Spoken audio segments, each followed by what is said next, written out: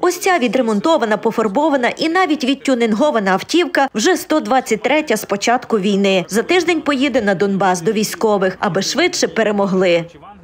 у досить доброму технічному стані. І наш досвід, на жаль, е, показує, що краще одразу купувати дорожчі машини, ніж просто найдешевше, що є, і потім по кілька місяців їх ремонтувати. Це справа Андрія Любки. Письменник став волонтером. Рік війни змінив життя кардинально.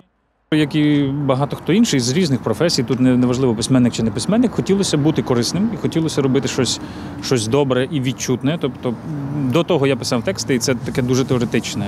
Воно теж важливо, і особливо коли на початку війни треба було писати для закордонних видань. Е, Один з перших текстів про початок війни, який я написав, взагалі був прикладений на 16 мов, опублікований там у- у купі країн світу. Але мені хотілося робити щось більш насущне. Е, І спочатку я займався розселенням е, людей, які приїздили із окупованих територій, з Харкова. Це от лише початок війни в лютому. Потім ми вантажили вагони і передавали медикаменти на Харків, на інші міста, які того потребували. І от потім так сталося, що мені подзвонив друг, який е, пішов в армію, і сказав, що ми говорили. Він сказав, що в них величезна потреба у автомобілях. Андрій Любка каже, кликнув клич про збір коштів на своїй сторінці у Фейсбук. А наступного дня прокинувся зранку. Грошей було вже на дві машини. Так почалася автодопомога на фронт. Зараз задіяна ціла команда для цього. Машини це не головне, головне люди. І найважливіше завжди підібрати правильних людей і підібрати людей, які не просто роблять свою роботу, але й переконання, що це треба робити. Тому що такі, наприклад, як наш майстер Іван, це людина, яка, якщо треба, він вийде вночі і буде цілу ніч робити, бо нам зранку треба виїжджати або приїде військовий забирати цю машину. Це речі, які не можна купити за гроші. От Юрій, який організовує цей процес, це людина, яка 24 на 7 займається кожною деталькою, які їдуть з різних частин України на різні сервіси, і це все треба якось оцей хаос упорядкувати. І знайти цих людей е, це було найскладніше. Усі працюють як злагоджений механізм, координація та технічна частина роботи на колегах. Мова про Юрія та Івана. Поки зловили усіх трьох одночасно в Ужгороді, довелося довго чекати. Чоловіки завжди у русі і у справах. Перемога не жде. Ось і зараз майстер у роботі.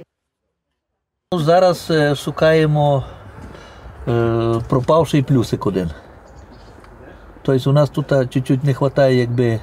е, Це мультимедіа, будемо так говорити. Ну, тобто таку далеку дорогу, коли їдемо, бажано собі було чим е, не лише доїхати нормально, а й собі щось у вуха награвало. Тобто стараємося, щоб повністю машина відновлена була. Там воно теж треба. А це пан Юрій організовує і координує весь процес. каже, досить тривалий і складний.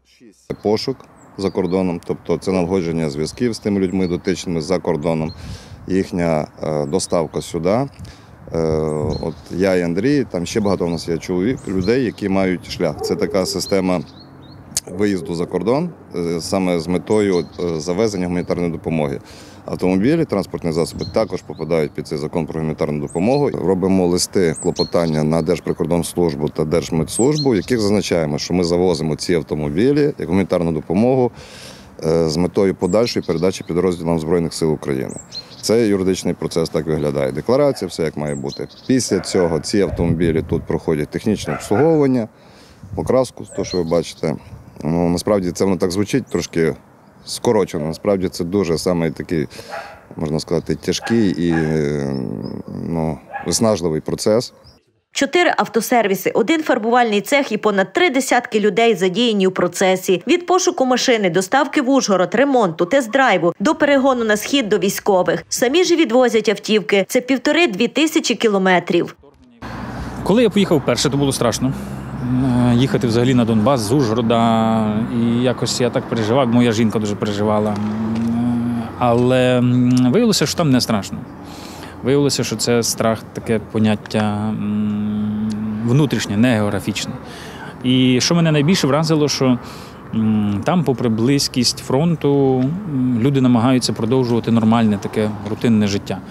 Волонтерство це важко, резюмує Андрій Любка. Адже 24 на 7 на зв'язку різні виклики, ризики та відповідальність. А ще розуміння: ніхто за тебе це не зробить. І хлопцям у окопах вже рік незрівнянно важче. Тому після перемоги одразу рибалка, тиша і улюблена справа писати.